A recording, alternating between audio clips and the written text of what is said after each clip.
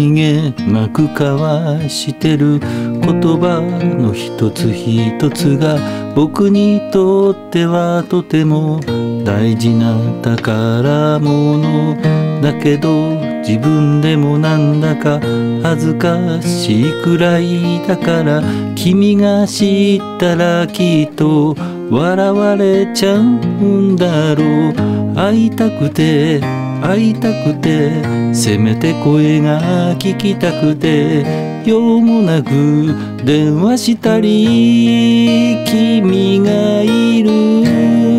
それだけで心がとても温かくなる。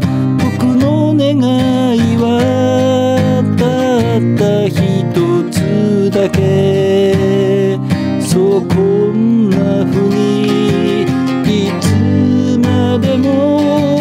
君を好きなままでいていいですか？